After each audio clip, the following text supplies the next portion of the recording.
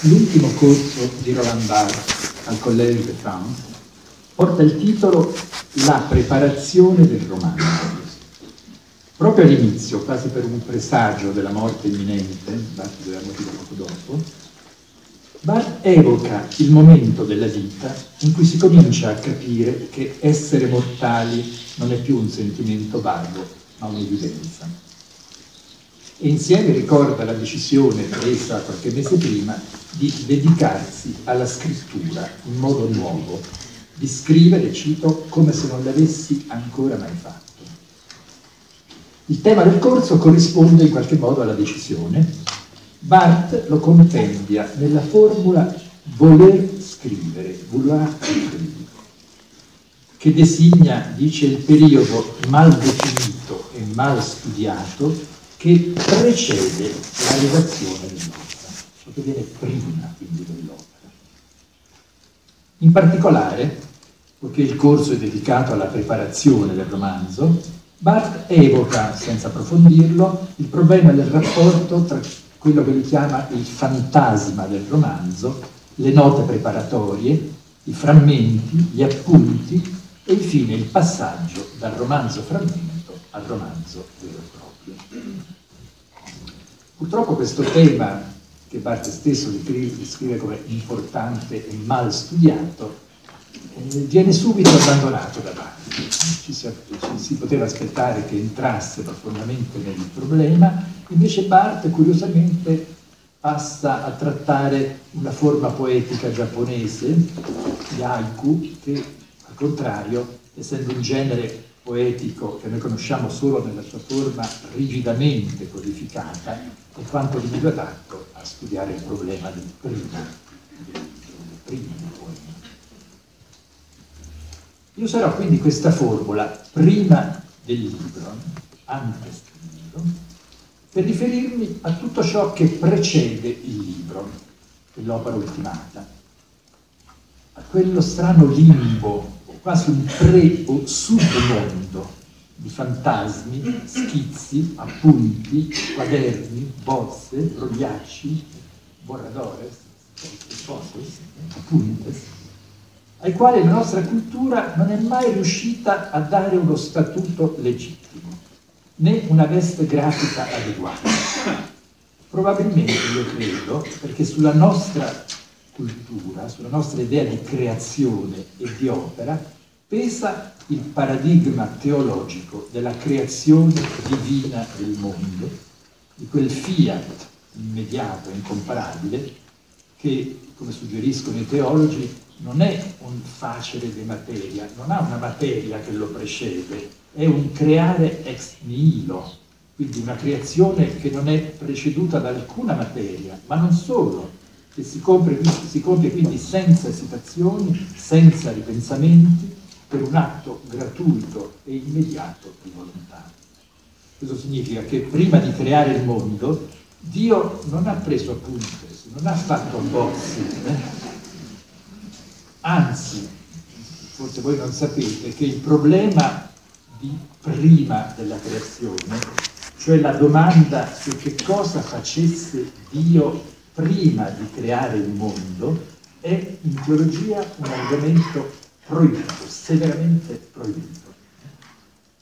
Il Dio cristiano è a tal punto un Dio costitutivamente creatore che ai pagani e agli gnostici, i pagani e gli gnostici si divertivano, sapevano questo, e chiedevano ai cristiani, ma il vostro Dio che faceva prima di creare il mondo? Questa è una domanda imbarazzante. Agostino, per esempio, risponde ironicamente con una minaccia che però nasconde una difficoltà. Dio tagliava delle canne per bastonare coloro che pongono domande illecite.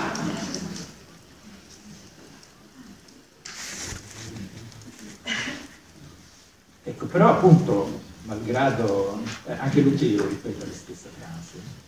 Allora, malgrado queste proibizioni teologiche, in realtà anche in teologia le cose non sono così semplici.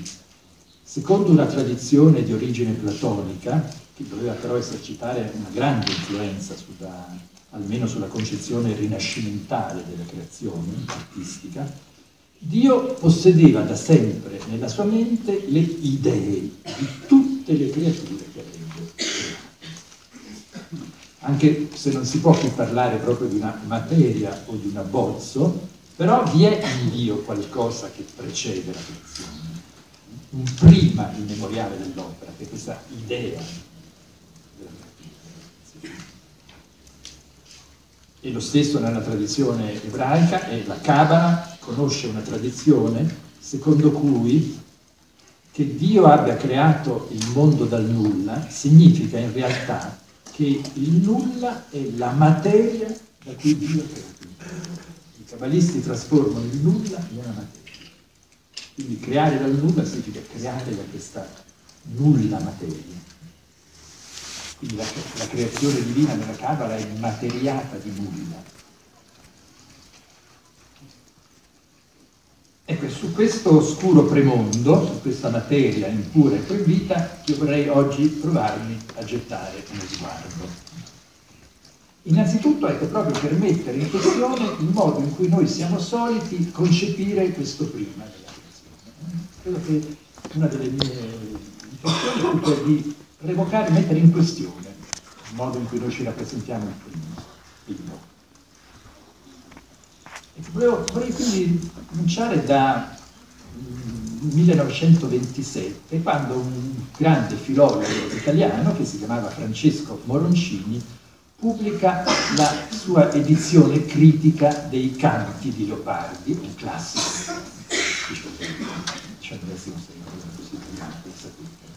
Ecco, questo è un libro molto curioso perché è la prima volta in cui invece a limitarsi di dare il testo critico di ogni poesia, di cada poema, eh, il filologo qui invece riproduce non soltanto attraverso tutta una serie di accorgimenti tipografici il manoscritto nella sua versione originaria, quindi con tutte le varianti, le note, le cancellature, le citazioni, le postille, ma oltre a questo va indietro e pubblica anche le prime versioni, i primi appunti e anche quando esiste quello che poi nella filologia leopardiana si chiama il getto in prosa, cioè una specie di nucleo, di frammento in prosa che è primo, la prima apparizione. E questo è un libro molto interessante perché all'inizio il lettore è disorientato perché era abituato a quelle poesie celeberrime per un italiano, l'infinito, le ricordanze, che era abituato a vedere come un testo unico e chiaro, si rompe, si, si, dissemina in una molteplicità di versioni di testi. Ho menzionato questo, che poi nella filologia leopardiana si chiama il getto in prosa, eh, questo abbozzo in prosa, che in, in alcuni casi ci è stato conservato. Ecco, una prima domanda, come dobbiamo considerare queste enigmatiche, qualche volta sono 20 righe, qualche volta due pagine, che contengono il nucleo magmatico e ancora ardente, quasi il vivo embrione della poesia. Come si devono leggere? Si devono leggere con un occhio al testo compiuto, per cercare di vedere come un organismo perfetto abbia potuto svilupparsi da un frammento insignificante, oppure, come forse è più giusto, come spesso facciamo, in se stessi. Come se contraessero, come anzi se quelle poche righe contraessero miracolosamente in sé Il problema si complica ulteriormente se pensiamo anche tanto in letteratura ma anche nelle arti visive, no? tutti quegli schizzi e abbozzi in cui spesso al getto originario, al frammento originario, non ha seguito un'opera. Eh, spesso noi abbiamo conservato, ad esempio, schizzi di pittori per un progetto che poi non è stato eseguito. E lo stesso avviene in letteratura, ad esempio i diari di Kafka. Se voi avete mai letto i diari di Kafka, ricorderete che per buona parte sono fatti di frammenti, di progetti, di abbozzi, di eh, novelle, racconti, testi, apologi che non sono stati scritti. quindi che esistono solo come getto di prosa. E più appunto, che cosa differenzia questi frammenti da un'opera compiuta? Non è facile, ma per esempio anche, non so, eh, prendiamo i cahiers, i quaderni di Simone Belli che sono appunto dei quaderni che contengono soltanto una serie infinita di frammenti, di appunti, di abbozzi, però questi quaderni di Simon Weil, per chi li conosce, sapete che sono considerati forse come la sua opera più importante. Sono degli autori la cui opera più importante è fatta di appunti, frammenti. E Edgar Wind, in quel piccolo capolavoro che è il libro Arte e Anarchia, ricordava per esempio che i romantici, la Schlegel e la Novalis, consideravano che i frammenti erano più importanti delle opere, quindi cercavano di dare alle loro opere la forma del frammento. Eh, poi per citare una cosa che tutti conoscete, eh, quale doveva essere l'intenzione di Michelangelo quando decide di lasciare incompiute, non finite, le sculture della sagrestia? Astronomico che statuto dobbiamo dare a queste statue volutamente lasciate da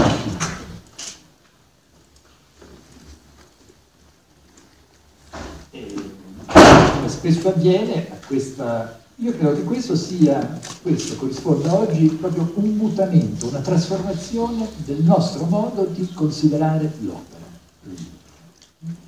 E uno dei sintomi più evidenti di questo è che nella scienza che si occupa dell'edizione critica dei testi, che si chiama ecdotica, so come dire in spagnolo, come la scienza che si occupa di come si deve fare l'edizione critica di un testo, e negli ultimi trent'anni c'è stata una trasformazione completa. La, la, filologia era abituata prima al modello della edizione critica lachmaniana, come si dice nel nome del filologo, che mirava alla ricostruzione di un testo critico unico e possibilmente definitivo. Questo è il testo critico della tale poesia di Leopardi o di Pindaro. Eh? Però invece da una trentina d'anni le cose sono cambiate completamente. Hanno cominciato i filologi, i propri filologi tedeschi, se qualcuno di voi ha visto la grande edizione delle poesie di Hölderlin, che è finita ormai già da qualche anno, ecco, qui, qui non c'è un testo critico. La, il, il, metodo di Moroncini è stato spinto all'estremo e quando invece di una singola poesia voi vedete tutte le varie versioni, qualche volta sono 5, 6, una dopo l'altra, e nessuna ha lo statuto di privilegiato di testo finale. Lo stesso ora sta avvenendo delle opere di Kafka, l'edizione che è in corso, l'edizione critica che è in corso ora delle opere di Kafka, che è lo stesso criterio, non ci sarà un testo critico, ci saranno i manoscritti riprodotti come sono, qualche volta con difficoltà estreme, perché quindi di varianti cancellative. Ecco, io credo che questo, ecco, questo, è un sintomo molto curioso, il cambiamento del nostro modo di concepire un'opera. E reso questo corrisponde è una cosa che i pittori anche hanno familiare. Eh, eh, James Lord, che, un, che, ha posato per un famoso ritratto di Giacometti, nel suo libro appunto che ho pubblicato in cui racconta la storia di questo ritratto, dice che Giacometti diceva sempre che lui non finiva mai un quadro, lo abbandonava.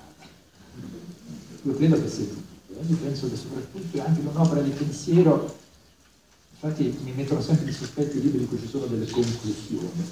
Io credo che non si può terminare e concludere, si abbandona. A un certo punto si capisce che si deve abbandonare.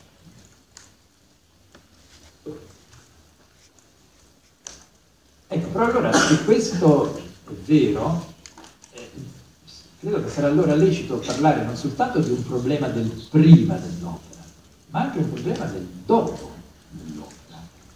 perché altrettanto no, se una volta che lo statuto dell'opera, il suo statuto di opera terminata è messo in questione, non solo il prima cambia, ma anche il dopo. E infatti se ci si riflette ci sono altrettanti... Nel 427, tre anni prima della sua morte, Agostino pubblica, che aveva una spalla un'opera enorme, scrive un libro che intitola Retractationes. Il termine ritrattazione, credo in spagnolo ritrattazione, oggi ha invece un senso negativo, quello giuridico, no, di ritirare o dichiarare una testimonianza, oppure ha un senso peggiorativo, no, di rinnegare, smentire ciò che è stato scritto. Invece nel titolo di Agostino, retractationes, significa semplicemente trattare di nuovo, di nuovo. E che cosa fa Agostino in questo libro estremamente interessante? Torna sui libri che ha scritto tutti i libri che scrive, uno per uno, e con grande umiltà ne considera i limiti, cerca di chiarirli, questo non, era proprio quello che volevo dire, vorrei dire quest'altro, quindi in qualche modo li continua. Quindi se noi consideriamo le opere d'Agostino tenendo conto, cosa che di solito non si fa, delle retractazioni, non ci sono libri di Agostino, perché lui qui li ha un po' modificati.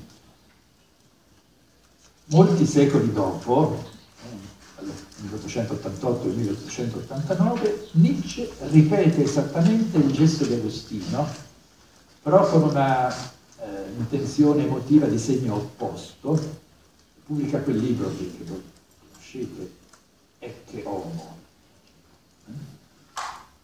Quindi, che è un libro di retrattazione dei suoi libri, sceglie questa parola, che sapete Ciomo è l'espressione con cui Pilato presenta Cristo nudo e flagellato, coronato di spine agli ebrei. Eh? quindi Nietzsche torna come Agostino sull'opera, questa volta con un'intenzione un po' contraria, mentre Agostino cerca di mostrare i limiti delle sue opere, come voi sapete in Ecceoma invece eh, Nietzsche fa una specie di torna sulle sue opere per glorificarle, per così dire, per suggerire e per suggerire soprattutto con autorità l'autor come i lettori devono leggere. Questo libro qui voleva che se questo voi dovete leggerlo così e così. Quindi ancora una volta l'opera non è finita. In entrambi i casi la ritrattazione suppone che un autore possa continuare a scrivere i libri anche dopo averli pubblicati, come se rimanessero fino all'ultimo frammenti di un'opera in corso, di un work in progress, che tende per questo, lo capirete, a confondersi con la vita. Adesso questo si, ci rende conto che mi è sempre mi è piaciuto molto, si racconta che Bonnari, un pittore francese, andava nei musei dove c'erano i suoi quadri e quando il guardiano non vedeva, prendeva un pennello e emendava, continuava a correggere sui quadri. Ecco, quindi voi vedete, la creazione non è compiuta, anche la creazione del mondo non è compiuta, continua infinitamente. Infatti c'è questa idea anche dei teologi della creazio continua. Se Dio non continuasse a creare il mondo, il mondo crollerebbe. Tra gli scrittori e i cineasti italiani del Novecento ce n'è stato uno che ha praticato molto questa ritrattazione in tutti i sensi del termine, anche quello tecnico-giuridico, ed è Pierpaolo Pasolini però nel Pasolini la ritrattazione assume forme paradossali, eh? non soltanto ha ritrattato alcune opere nel senso di rinnegarle, però nel 1992 noi vediamo che l'editore Einaudi pubblica col titolo Petrolio una voluminosa opera postuma di Pasolini. È un libro so se conoscete, credo che spagnolo, che è composto da 133 frammenti e annotazioni critiche e una lettera a Alberto Monaria. Lettera importante perché Pasolini in questa lettera spiega come ha concepito questo romanzo, anche chiama romanzo. Però dice subito, non è scritto come sono scritti i romanzi veri, ma come un saggio, una recensione o dice un'edizione critica Ecco, quest'ultima definizione è molto importante, molto illuminante. Cioè, infatti un appunto del 1973 di Pasolini precisa che, cito, tutto petrolio dovrà presentarsi sotto forma di edizione critica di un testo inedito di cui sopravvivono solo frammenti, in 4 o 5 manoscritti. No? Qui la coincidenza quindi tra opera compiuta, la confusione tra opera compiuta e opera non finita è assoluta. L'autore scrive un libro in forma di edizione critica di un libro incompiuto. Mi soffermo su questo, ho fatto questi esempi estremi per capite appunto, per farvi capire come la consistenza e la finitezza, la compiutezza di un'opera sia oggi diventata, non solo oggi, da tempo in realtà, diventata proprietaria. E credo che appunto questi casi, eh, fatto questi esempi perché ci permettono di misurare, quello che qui mi interessa, l'insufficienza delle categorie attraverso le quali la nostra cultura è abituata a pensare proprio lo statuto ontologico dell'uomo. Questo mi interessa, non perché non sto dicendo che bisogna fare come ha fatto Pasolini, però mi interessa mettere in questione le categorie mentali con le quali la nostra cultura ci ha abituato a pensare l'opera di A partire almeno da Aristotele, noi pensiamo l'opera, i greci chiamavano l'opera ergon, ergon come relazione tra due concetti o due momenti, la potenza e l'atto, il virtuale e il reale in greco dynamis e energia. Ecco, l'idea corrente che noi consideriamo in fondo senza neanche rendercene conto come normale, è che l'opera, l'ergon, l'opera compiuta, eh, è, risulta da un momento precedente possibile, virtuale, del dynamis, che poi trapassa in atto, si realizza e si compie in modo attraverso un atto di solito si dice di volontà, perché volontà nessuno abbiamo sentito cosa. Volontà è una parola che nessuno ha mai capito cosa significa. Ecco, quindi se mettiamo in questione questo modello, appunto, questa idea di una potenza che si trasferisce nell'atto risulta problematica. Per esempio appunto il libro di Pasolini che cos'è? È un libro potenziale o attuale? È un'opera allo stato virtuale di possibilità o è un'opera, un ergon? Non è né l'uno né l'altro. Se l'autore può tornare sulla sua opera, se il prima e il dopo del libro non devono essere semplicemente dimenticati, ma al contrario no? sono, sono parte dell'opera, allora appunto questa idea della materia di Sapete che materia e dynamis per Aristotele erano la stessa cosa, la materia è ciò che resta sempre allo stato di potenzialità. Ecco, vorrei brevemente farvi un altro esempio di due opere letterarie, visto che qui ci sono studenti di filologia, in particolare di filologia italiana, un libro particolarmente interessante da questo punto di vista è il libro di uno, che, un scrittore che io considero uno dei più grandi del Novecento italiano, che è Giorgio Manganelli. Manganelli pubblica nel 1969 un libro che si chiama Il nuovo commento, che tra l'altro ha sulla copertina una curiosa illustrazione di cui forse parlerò. Il nuovo commento si presenta come una serie di note, commenti di note, a un testo che non c'è, un testo inesistente. Quindi sono spesso note a queste note, però il testo manca, quindi note a note senza testo. Certe volte sono lunghissime note su un segno di punteggiatura, la virgola, però questa virgola noi siccome il testo non l'abbiamo non sappiamo dove, dove utilizzare. Ecco, quindi vedete che l'ipotesi di Manganelli non è soltanto quella dell'inesistenza del testo, ma anche quella di un'autonomia, per così dire, teologica del commento nel suo caso. Nel suo caso dire il commento è autonomo rispetto all'opera, così autonomo che si può dare un commento senza opera commentata. In un certo senso, quindi vedete questo significa anche che il testo è come Dio dovunque e in nessun luogo. Quindi il testo può non esserci in modo paradigmatico, però c'è.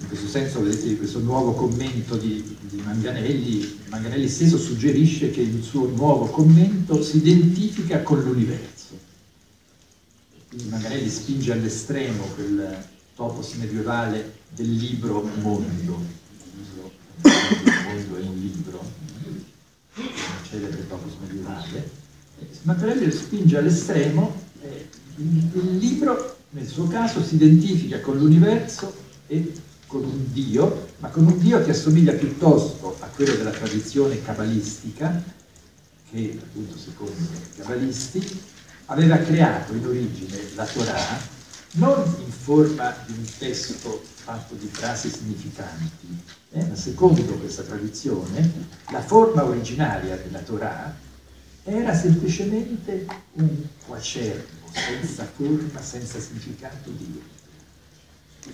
Ed è a partire da questo quacervo confuso di lettere mescolate che poi verrà formata la seconda Torah, che non è quella originale.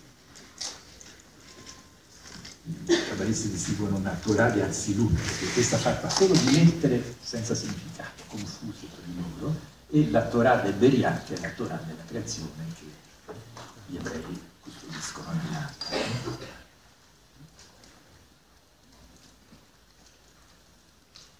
Un altro esempio, vorrei brevemente evocare, precedente, del secolo precedente, è il cosiddetto Livre di Mallarmé. Nel 1957, quindi quasi 60 anni dopo la morte del poeta, viene pubblicato in Francia un volume il cui frontespizio recita Le Livre de Mallarmé, il libro di Mallarmé. Invece del, però, sopra invece del nome dell'autore in posizione di quello che di solito si mette l'autore c'è il nome del curatore che dice ecco, questo libro è altrettanto indecidibile ancora più di quello di Magnanini si tratta di un manoscritto formato di 202 foglietti di mano di Magnanini e preceduto da una grandissima prefazione di È noto che Mallarmé era convinto cito, che il mondo esiste solo per sfociare in un libro e inseguì per tutta la vita il progetto di un libro assoluto in cui il caso, le hasard, doveva essere eliminato punto per punto a tutti i livelli del processo letterario. E per questo, secondo Mallarmé, era necessario eliminare innanzitutto l'autore, perché, diceva Darmè, lo cito, l'opera pura implica la sparizione elocutoria del poeta. Disparizione spirituale, cioè stranissimo, parla sparendo. Eh? E, occorreva poi abolire il caso di tutte le parole che risultano da un'unione contingente di senso e di suono. Ecco, in che modo? Cioè Malamè, come sapete, non è mai riuscito a tentato, c'è stato prima il progetto che ha pubblicato lui stesso, l'élaborage di Hazard. Ha tentato varie volte di realizzare questo libro assoluto, eh, forse non ci è mai riuscito, no? E non sappiamo bene, secondo il curatore, l'idea qui di questo libro sembra che Mallarmé pensasse a una sorta di, di balletto, di performance, in cui 24 lettori, spettatori, avrebbero letto 24 fogli disposti ogni volta in un ordine diverso. Ecco, non mi soffermo ulteriormente, ci sarebbero tante cose da dire su questo interessantissimo fallimento. Ecco, però ancora una volta eh, siamo di fronte a qualcosa in cui il libro ha perso la sua solidità e diventa qualcosa che, come diceva Manganelli, può essere in nessun luogo e dovunque.